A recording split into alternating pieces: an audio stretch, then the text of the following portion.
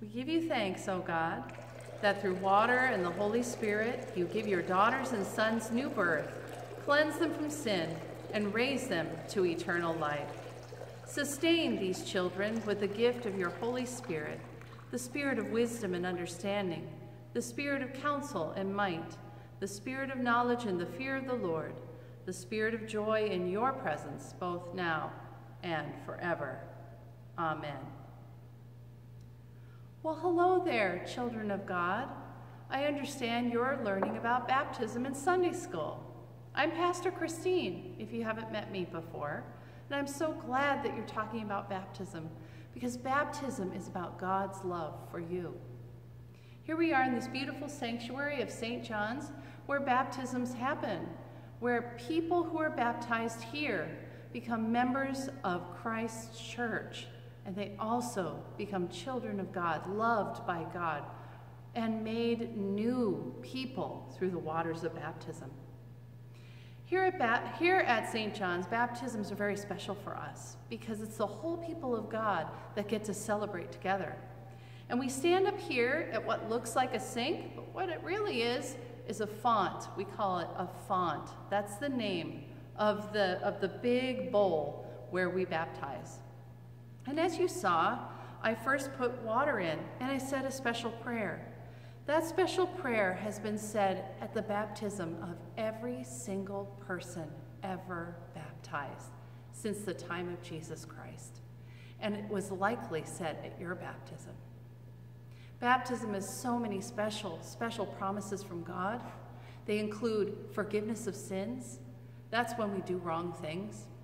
It includes becoming a part of God's church. It includes grace, which means being basically given love even when we don't deserve it on days when we're not really feeling like we deserve it.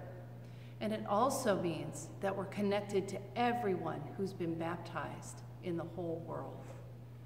Amazing gifts that God gives us as we await our time in heaven with God. So, for a baptism to happen here at St. John's, we have some special things that happen. So, first of all, we pour water in the font.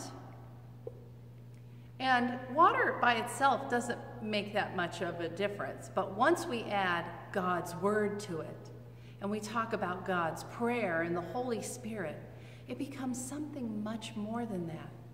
God's word and water becomes a special gift for you.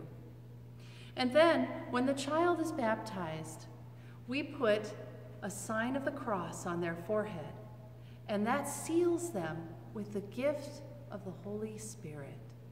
We use oil as a sign of that gift when we place it on the forehead of a child. Then, we also have a candle you remember in the Bible it says, Let your light so shine before others that they may see your good works and glorify your Father in heaven. This candle symbolizes those wonderful things that God is calling you to do in the world. We light that candle and then we give it to them as a, as an, a sign of what they are to do in the world.